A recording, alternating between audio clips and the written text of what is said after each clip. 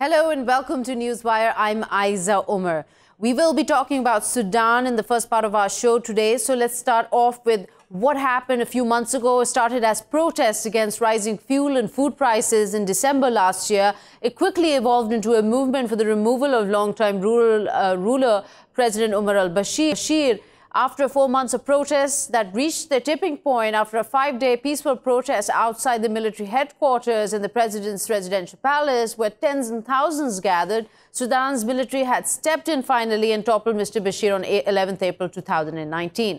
Now, of course, a little bit of Sudan's history. It has suffered economically largely uh, due to, as analysts and critics point out, mismanagement, corruption, unchecked spending on the security sector, and decades-old sanctions from the U.S., which have not made things any better, even though they have been eased off. Sudan's economic woes worsened due to the succession of South of Sudan in 2011, which took with it two-thirds of the country's rich oil fields.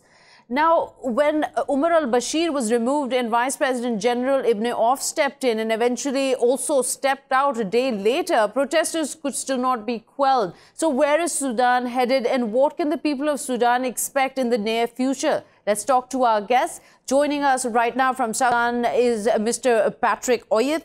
And also we have Mr. Rashid Sid Ahmed, the, the, Sudanese Communist Party member from London. Welcome to both of you uh, to uh, the show. I want to start with you, Mr. Patrick, to just give us a little bit of an overview of what the situation is like. You have been reporting on the field, and as I understand from our previous conversation, you were trying to make it to Sudan earlier, but couldn't get a visa. Yes, yes. Uh, I, was trying to go to Sudan actually last last week on Monday. So the coup could have actually gotten me in Sudan, but uh, I was denied a visa. Actually, uh, the people in the embassy in South Sudan told me that they were instructed not to give uh, visas to journalists, so I could not travel.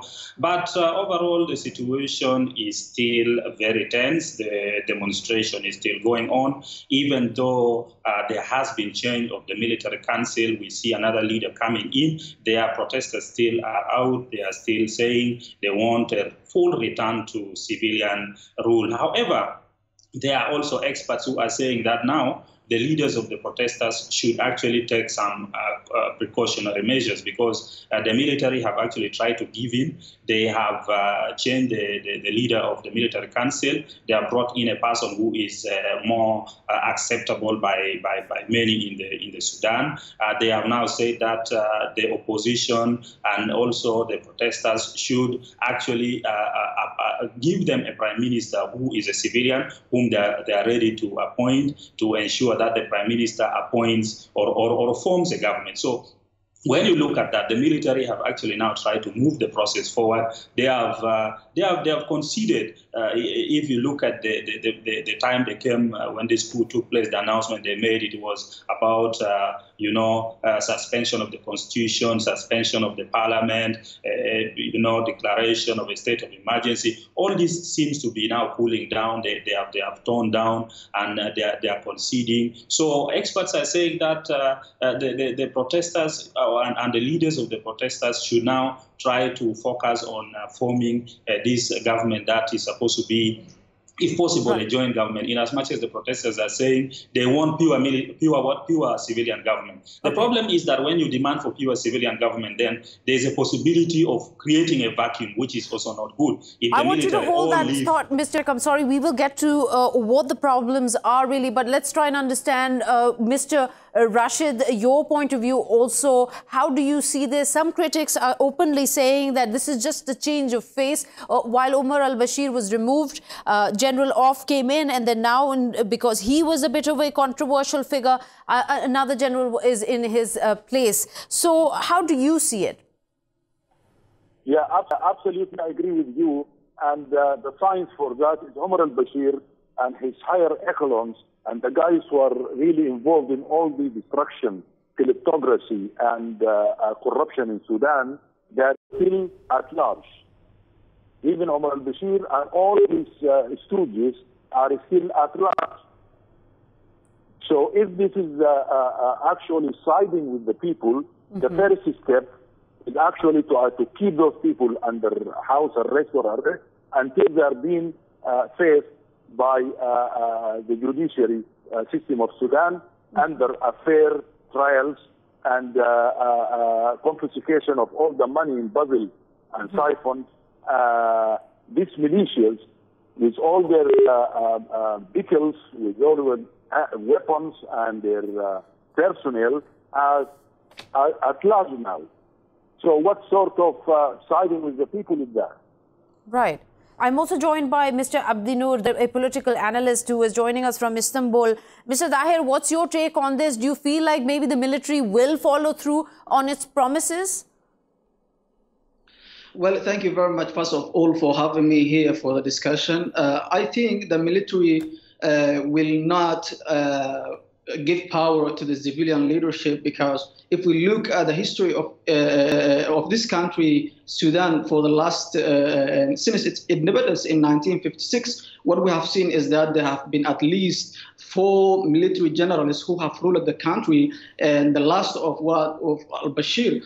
Uh, and I don't think for this period that uh, the military will actually provide and keep their promise. And uh, it shows the culture of this country that whoever comes to power and whoever comes uh, to, to influence the power will always stay. And I don't think like uh, the, the revolution is stolen. That's what I think now.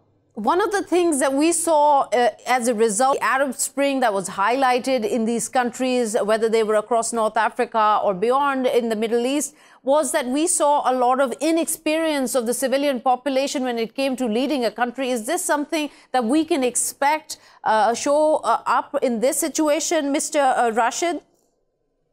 No, I don't think so. Actually, when people started talking all the time Arab Spring, Arab Spring, as if this is the first time for the people in that area. Actually, we started this spring in 21st October 1964 when the same civilians toppled a military dictator and established a civil rule. Mm-hmm. The, same, the same thing happened in 85, in 6 April 85, when people used the same methodology and toppled uh, General Nimeri and established a civil but, uh, but, but Umar uh, al-Bashir himself came so in with a military coup in 89 and he stayed on for 30 years. We specialize in strategy, strategy and uh, tactics and, and warfare uh, through the, the country. We don't want that anymore.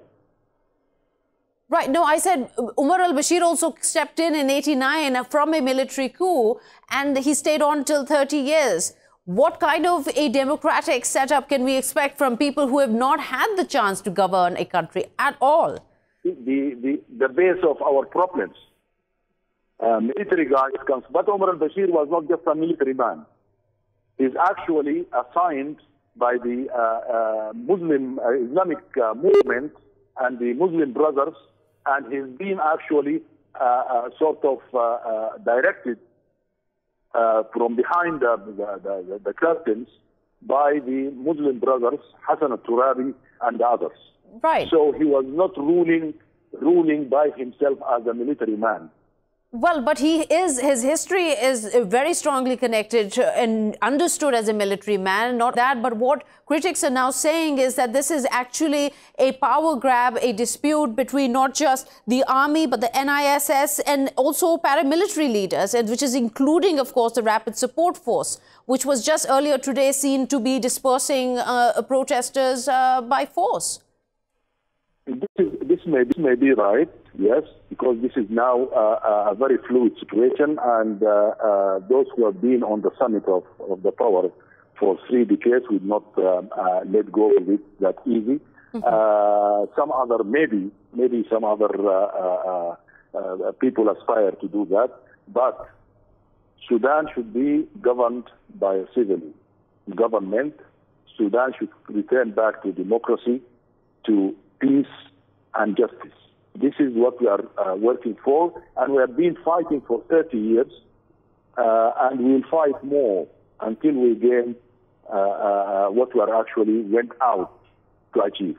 Right. Um, we have okay. been, uh, uh, I mean, brutalized. right. Mr. Patrick, let me ask you, we were talking just, you were just touching briefly on the problems that now the people of Sudan who are out on the streets, and these are tens and thousands of protesters, are facing in, in a time where it is critical to decide how power will be handed over, how this transitional council will decide. Uh, could you expand on this for us, for what kind of problems uh, this, uh, the, the people of Sudan are essentially facing?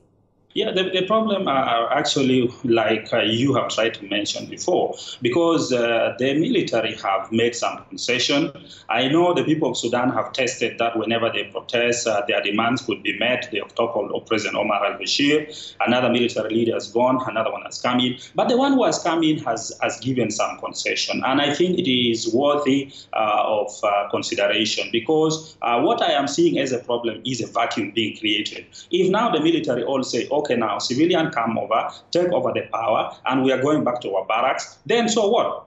There is a vacuum. There is no government, there is no president, there is no you know there's no order. So there's a possibility of chaos coming in. So what what what, uh, what many experts that i talk to have been saying is that it's now good for the people of the sudan. Now that the army has said give us a prime minister you the civilian give us a prime minister then the prime minister will form a government. Then we are only going to run for a, a specific period of time two years maximum after that you carry out election and they have said we do not want national congress party members now to participate in this uh, transitional or interim government. I think this is a good concession. And if the people of Sudan take it, then they will not create that vacuum, which vacuum could easily create chaos. When that is done, then when they go for the election, they can even say we do not want any military person to, to contest. That can be put in the constitution, whereby you say any military person cannot contest to be a president. Maybe you can resign from your position as a military man and then you contest as a civilian. So therefore you have your civilian government. But if you push too hard and then the military go to the barracks, everybody goes away, and then the protesters remain on the streets, and you are going to create some kind of chaos. And you know the region, you know what has happened in Libya.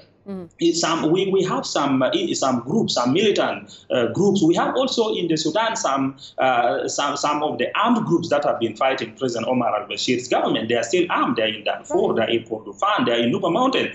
so chaos can easily be created if the situation is not handled properly. It is a precarious situation. And Mr. Dahir, what do you think? Will this, any kind of settlement over time, will it be inclusive enough to satisfy the diverse interests of the protest movement and civilian opposition?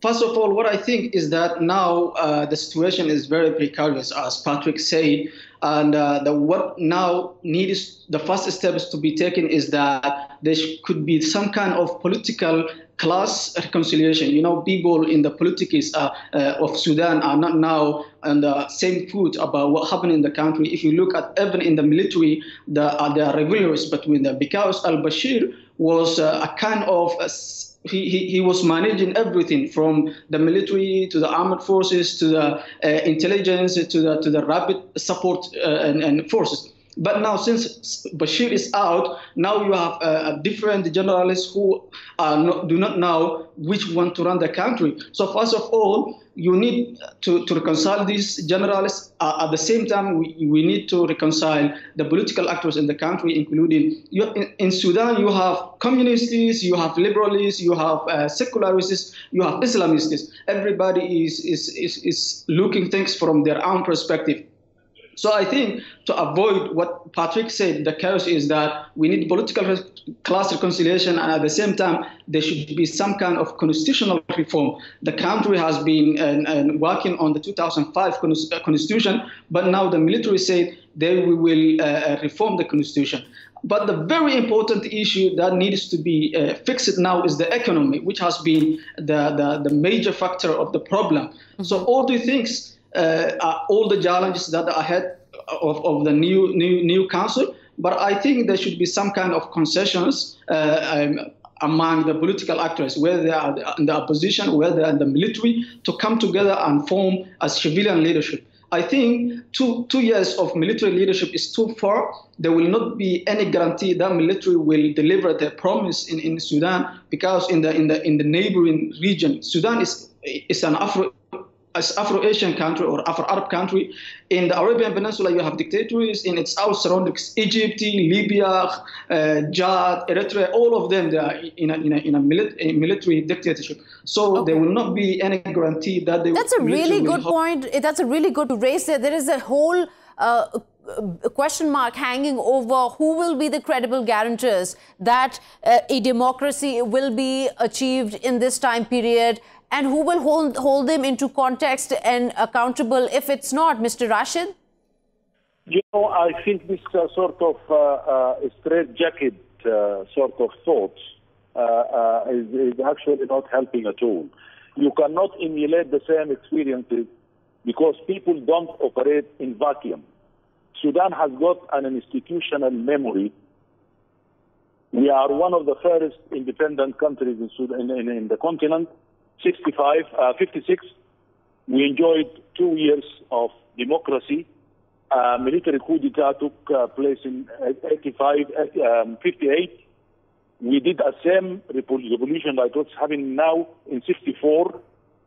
Then uh, in 69, uh, another coup d'etat. We took 16 years to topple it. Then in 85, uh, where the, the revolution happened. Then in 89, this military uh, coup d'etat, which took 30 years until recently. Okay. Um, this experience, this experience will show us, uh, and uh, we, we, we actually been taught the hard way. Okay. Mr. Mr. let me quickly come to you and then I will go, move on to uh, Mr. Dahir for your closing remarks. We just have the last two minutes left. There is a, uh, critics are also uh, highlighting that the army is using this, the Sudanese army is using this to uh, try and uh, push the story in the West that it, this was, the army had to step in to take over because of a, the protesters are essentially Muslim Brotherhood disguised and that they were trying to stop the Islamists from taking over. This is clearly not going to help in the future because they do play, Islamists do play a big role in Sudan. Yeah, this, this is not going to help by, by, by if the, the military are trying to say that there was some, let me say, extremists who are, who are who are on the streets and they came in to try to control or to, to you know to save the nation. This is not true. This is not true. Uh, the protesters genuinely came out because of the economic problems that were in the Sudan. There were very serious economic situation. Leave alone the issue of the, the fuel and the bread. These were just the last blow. The situation was so bad that the country did not have foreign currency. Uh, you would go to the bank, you have your money in the in the account, you will not get your money. Yet right. when you go to the the hospital, they would not treat you. So the situation was bad. The army cannot therefore say that they came to, to save the situation. it, it is the protesters. The protesters are, are actually the genuine, the genuine uh, people who brought this, this revolution. Actually, uh, some analysts have said that the, the, the, army are hijacking the, the revolution. So they cannot uh, really take all the credit. They only just uh, like touch the last button for, for, for Omar, President Omar al-Bashir to go. But the, the, the major work was done by the protesters protesters, exactly. Protest so it really brings into then when the coup leaders, uh, will they uh, deliver? And uh, Mr. Dahir, uh, uh, Dahir, it's just the last minute, so quickly, this one last point I want to cover is that uh, it will also obviously reflect on their credibility, whether they continue to protect the president, Omar al-Bashir, that is, or are ready to hand him over according to the arrest warrants handed over by the ICC. Well, what I think is that Al Bashir will not be ever or handed over to, to ICC because all these military generals are his uh, first or, or right hand uh, generals who will not some of them even are part of the crimes that al-Bashir is accused of. So that means even ICC, if uh, they want to prosecute al-Bashir, they have to cooperate or collaborate with these generals who are also part of the problem. And I don't think they will hand over to them. And there, there's no simple, single calls from Sudanese uh, political actors to to to, ex, uh, to send him to, to Hague. So I don't think that will happen. And uh, but in the in the short term, what I think to do is to have a civilian transition in, in Sudan there are non-political groups such as this Sudanese Professionals Association, which has been uh, running the, the, the, the, protests. we can have uh, somebody who's from that group, which is not an uh, opposition or which is not a politician, to be handed over to power, like to be given to the president. To give uh, a prime minister for somebody, prime minister ceremonial position in Sudan, they, it has no any, any prominence or any significance. So I think the most important issue now that the, the, the future of Sudan could be handled well is to have a clear and civilian-led government, at least maximum for six months. But two right. years is, is too, too long too, a time. Definitely. Uh, so thank you so much, Mr. Dahir and Mr. Rashid, and also Mr. Patrick for giving your time to Newswire. With that, we've come to the end of this part, and we will take a quick short break. We'll be right back.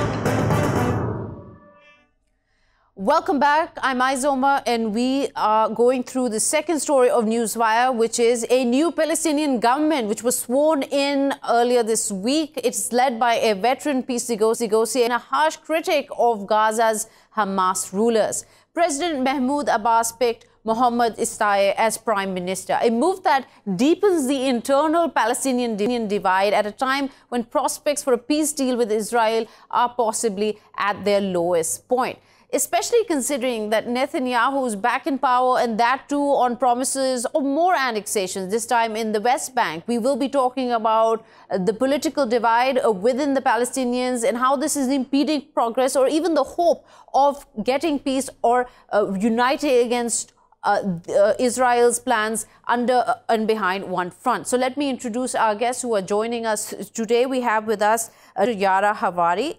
Palestine uh, Policy Fellow for Al Shabaka, the Palestine Policy Network. She's joining us from Ramallah.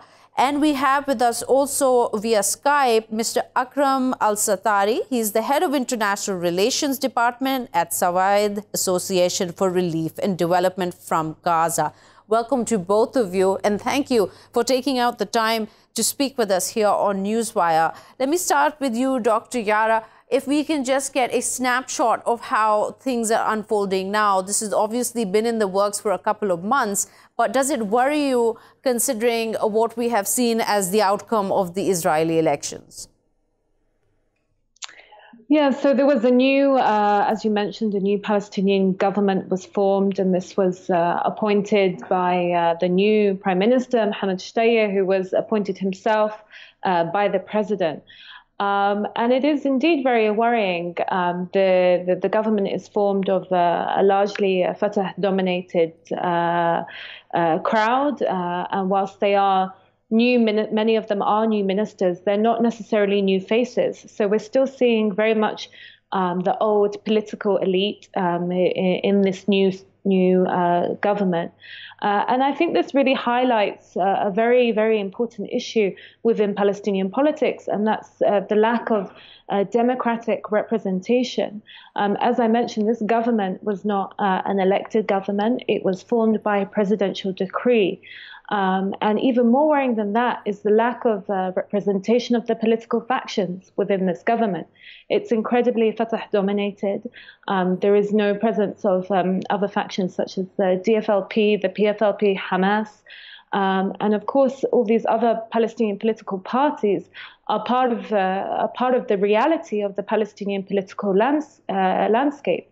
Uh, and I think their marginalization um, is a is a huge stumbling block in, in terms of uh, national unity, uh, political unity, and I think it's really going to affect how Palestinian the Palestinian leadership is able to confront Israeli aggression, annexation, uh, and the overall structure of occupation. Right, Mr. Akram, what's your take? Clearly, this is something that has been uh, not just internal, but also perpetuated by whether you want to call it the West or Israel itself. How do you see this evolving now? Is it a worsening situation, or do you think they might come out on top of this, especially with the threat that Israel poses with its new, new annexations plan? Well, as a matter of fact, the Israeli occupation has already decided to annex the West Bank. And if you remember, they passed a resolution like uh, eight or nine months ago. According to that resolution, they see in the West Bank as a sovereign part of the land of Israel, the grand land of Israel. Uh, the uh, the uh, Israeli Prime Minister Netanyahu promised in his during his electoral campaign to be annexing in actual terms annexing the West Bank to the land of Israel, and I don't see anything preventing him from doing so. The Palestinians in Gaza are paying the, the price of the uh, split and division that has been taking place and the rivalry between Hamas and Fatah, and I think that would feed into the already aggravating situation, not only in uh, in Gaza but also in the West Bank, where the settlers are taking over more land, and Israel is trying desperately to legitimize its settlement activity uh, with the help and the support and conditional support of the Trump administration. Exactly. So, how sidelining Hamas, not recognizing them? They did win the 2006 elections, didn't they? So, what is it that they are hoping to achieve by ostracizing them? Well, uh, as you might have been observing in the politi- Palestinian political arena, the Palestinian Authority committed itself to continuous negotiation with Israel. The Israeli uh, side has been uh, giving them a cold shoulder ever since 2000 till now. There were no meaningful political negotiations between Fatah and Israel, and I see in the division of 2006 as a fruit of the ongoing cooperation and security liaison between the Palestinian Authority and Israel.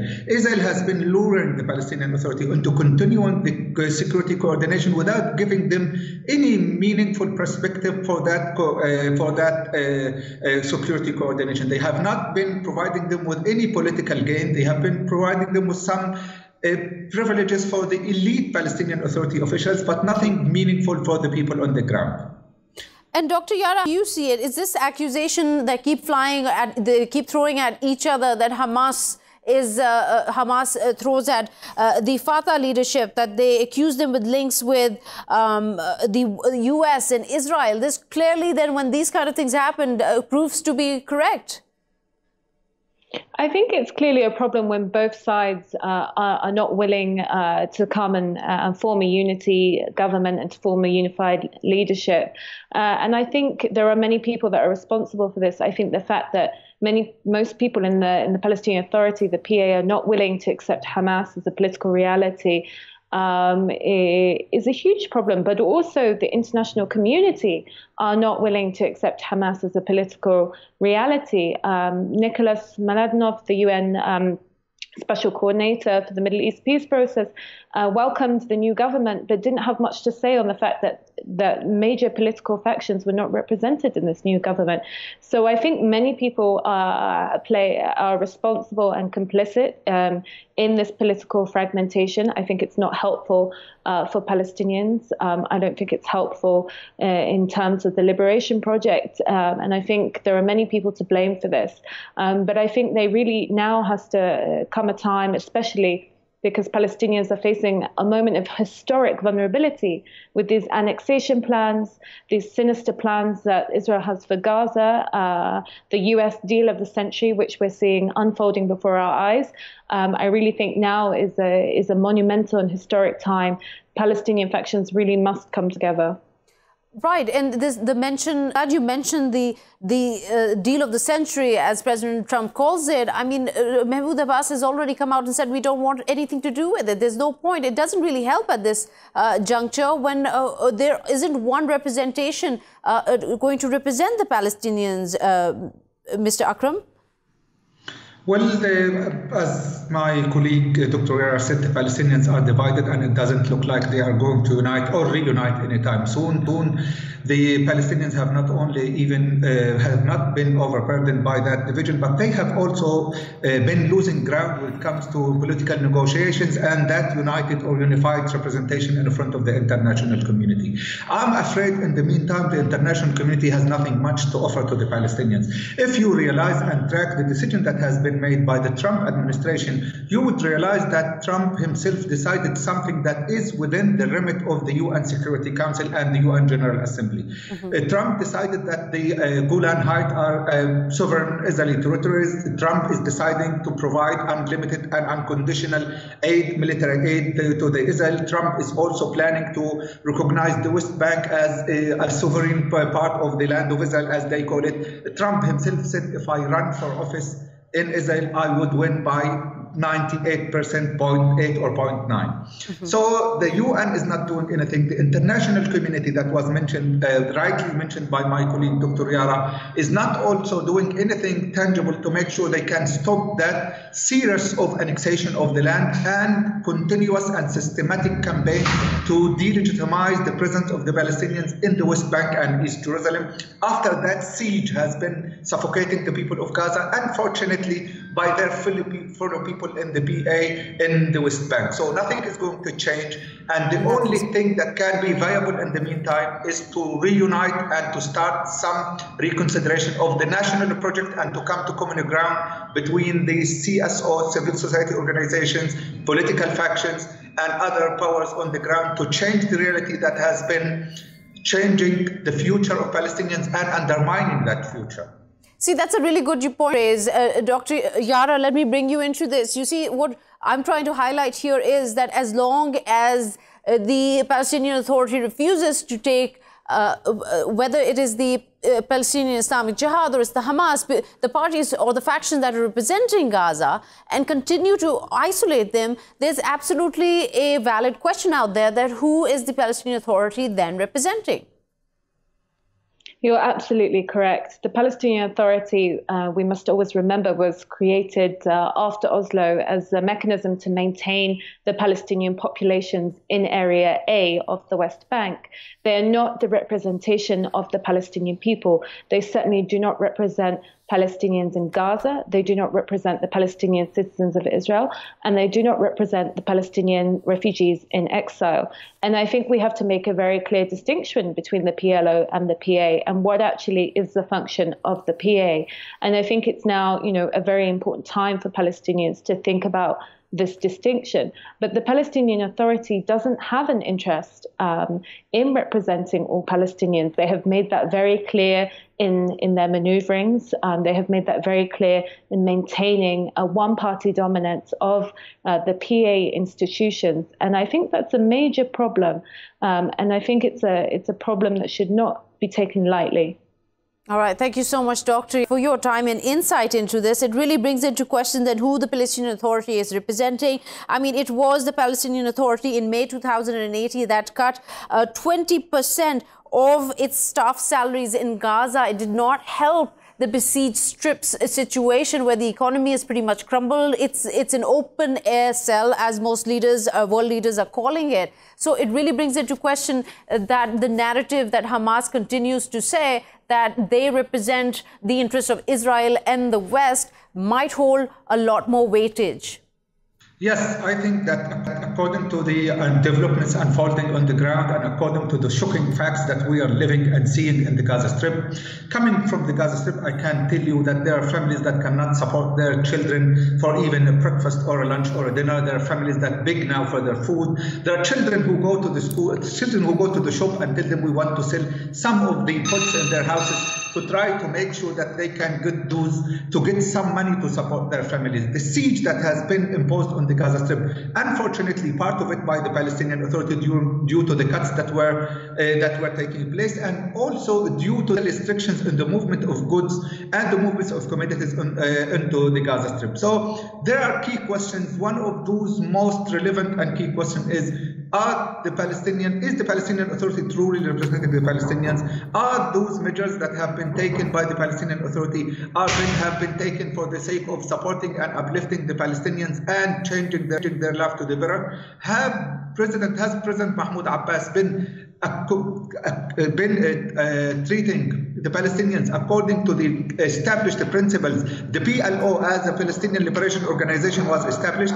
Is the Palestinian Liberation Organization itself now bigger than the Palestinian Authority, or the Palestinian Authority is much bigger than the PLO after the presence of the PLO in Jordan, Syria, Lebanon was eliminated, and now they have a representation office in Ramallah under the PA, receiving their their uh, annual budget from the PA. So the key questions and the suffering of the people tells us that there are key suspicions about the motives of the Palestinian Authority and makes larger segments of the Palestinian people think that the Palestinian Authority was established first and foremost to protect the interest of the Israeli occupation and to make settlements activity viable.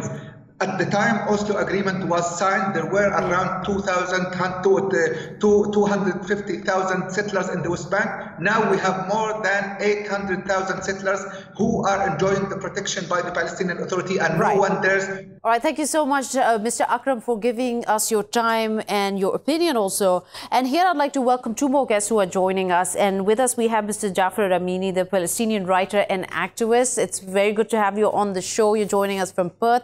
And also, we have with us uh, Mr. Antony Loewenstein, again, joining us after a while uh, from Jerusalem. You're a journalist. Let me start with you, Mr. Jafar. The internal conflict uh, that is Palestinian politics, and as uh, they come to loggerheads, especially when we're seeing the new government form, uh, being formed, it's uh, in, in your opinion, do you feel like this is not no longer an internal affair only and there are regional stakeholders involved in Palestinian reconciliation?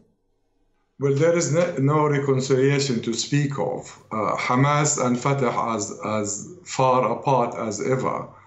Uh, and I wonder what Mr. Abbas is doing by uh, forming a new government when his authority has no authority. And these are his own words. He said last year in the Fatah conference in Ramallah that he presides over an authority without an authority. So if you have an authority without an authority, why are you forming a new government? And why is the new government uh, all Fatah members? The other factions in Palestine have boycotted this government because they can see no hope of the Israelis giving one inch to the Palestinians. Every single Israeli politician for the last 25 years since the Oslo Accord has emphatically said it will not happen on my watch, i.e., there is no two state solution, especially Mr. Netanyahu. Right. And then last year. In... Sorry, go ahead. Then in last year, in July of last year, Mr. Netanyahu passed through the Knesset the nationality bill. In it, it says emphatically, this is state for the Jews only. Only the Jews have the right of self determination. Mm-hmm. What happened to the two million Palestinians who are citizens of Israel? And then, where is the two state solution when Mr. Netanyahu and all his colleagues are expanding settlements in the West Bank, which are deemed illegal under international law? During the, the election campaign last month, Mr. Netanyahu said he is going to annex all the illegal settlements and the outposts in in the West Bank.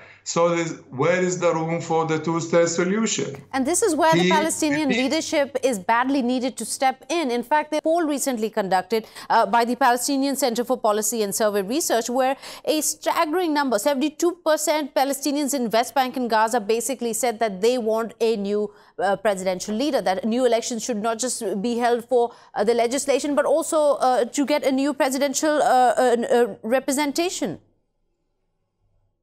the people in Palestine, the poll actually was 72% in favor of elections of a new president and a new government. Mm-hmm. This, is, this is not going to happen.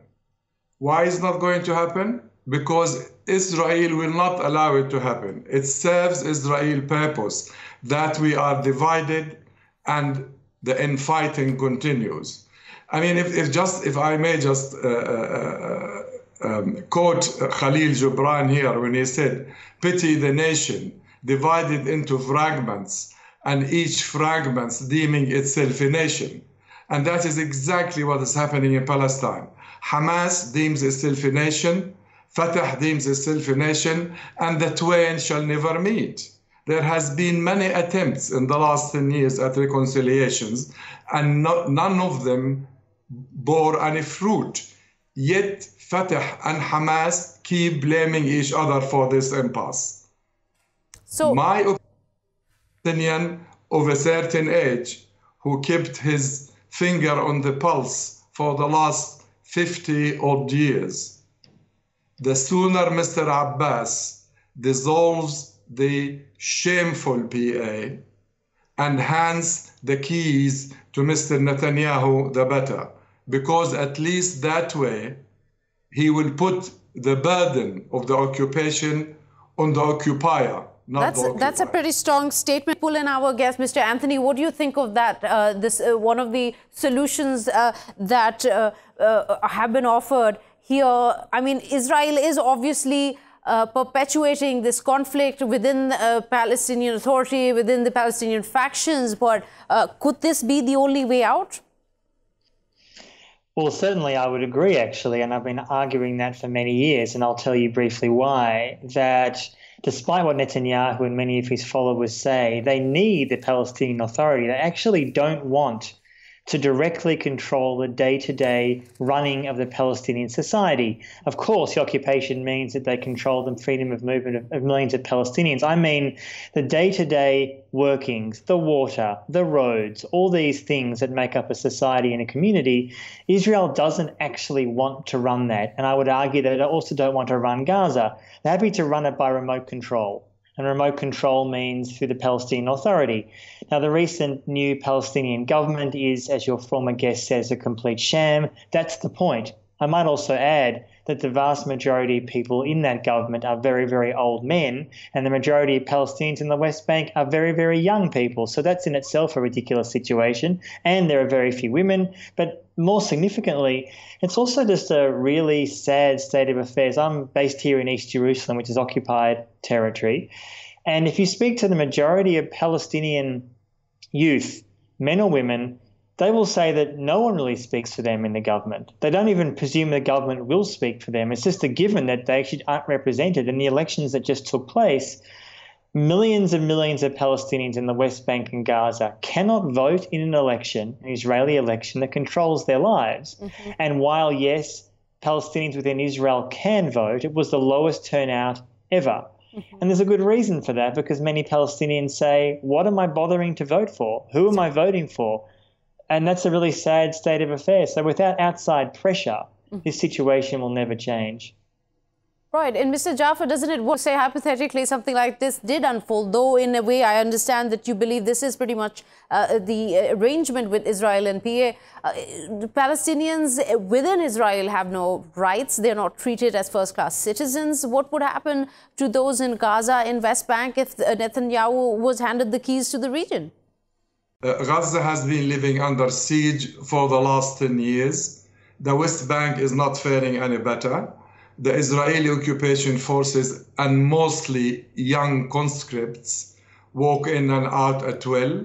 They humiliate the people. The checkpoints are a hindrance to their lives. As the young gentleman from Jerusalem just said, there is no life in Palestine at all other than for the Jews.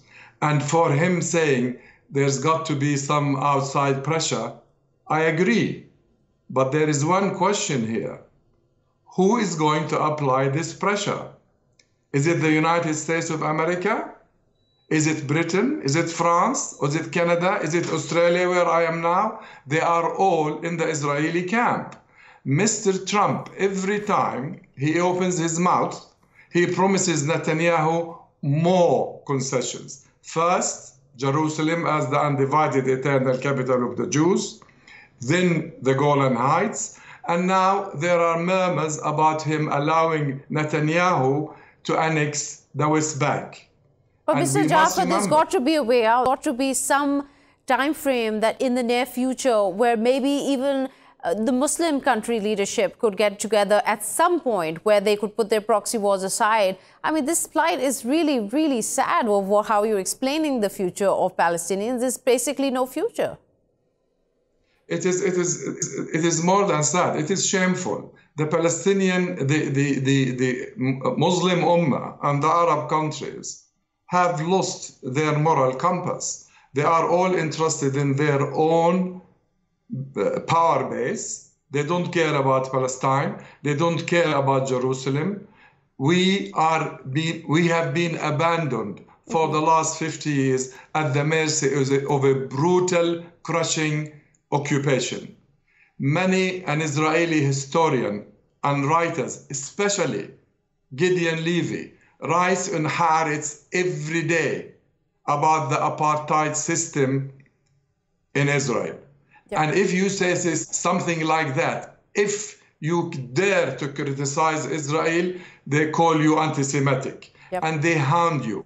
Yes. I, if I may just relate to you one incident that happened this weekend here in Perth, where I'm staying. We are in the throes of the new general election, and two MPs, one sitting and one would be MP, dis- described openly what they witnessed in Palestine at the checkpoints and the treatment of the occupation forces to the Palestinians. They were both hounded out of office. All the weekend, the newspapers here are attacking Miss Melissa Park and Mr. Josh Wilson. And that is the power of the Israeli lobby. They Absolutely. are like an octopus. Anti-Semitism is a rallying cry for anybody who speaks uh, against the Israeli cause here. And Mr. Antony, let me pull you in. While there is a rather uh, morbid future uh, that Mr. Jafar has predicted uh, for the Palestinians, but if can we find any hope uh, in maybe Netanyahu coming back to power? And I know it's a bit uh, ridiculous hypothesis, uh, imagining this. But, you know, when the former Israeli Defense Minister Lieberman basically criticized Prime Minister Netanyahu for allowing Qatari aid to come into Gaza uh, last year, I mean, maybe that could be something that we can uh, hold our hopes up to, that uh, after the elections are over, he's got what he wanted, that maybe we can see a more central sort of approach to this, centrist approach to this? I think the only hope at the moment, really, I see, and I've been writing about this for a long time, in fact, is not coming from within Israel or arguably even Palestine, although, of course, there are growing numbers of Palestinians in Palestine who oppose what's going on and they speak very forcefully. The Gaza March of Return, the people have been protesting every week at the Gaza um, fence. So that is certainly cause for hope. Where I do see some hope, in fact, is what's happening in parts of the US. The Democratic Party actually is going through an internal civil war of sorts about this issue. To be sure, the leadership is very, very pro Israel. That's true. But within the Democratic Party and many young Jews, I'm speaking as a, as a secular Jew myself, mm-hmm. there is a growing sense that the status quo cannot continue. Now, what does that mean practically? Does that mean that the Democratic candidate in 2020 will be better on this issue? Let's wait and see. I don't believe it, even if, say, a Bernie Sanders type person wins next year in the US, things change radically. They don't. My point being that without that kind of pressure from, say, the US, things will not change. And I think that there is a generational shift going on. Trump is very powerful. He runs the US, that's a given. But I do think that there is a growing sense in the Jewish community in America that the leadership that has spent decades backing blind occupation of the West Bank and Gaza cannot continue. Now, how that plays out, I don't know. But I mm-hmm. do think that there are a lot of young Jews in the US and then within the Democratic Party who say, not in my name. And I think that'll change things in the coming years. They mm-hmm. have to. All right. Thank you so much, Mr. Antony, for your valuable input there, and Mr. Jafar for taking the time out and speaking to us here on Newswire. With that, we've come to the end of our show. We will meet you uh, tomorrow, and with that, goodbye.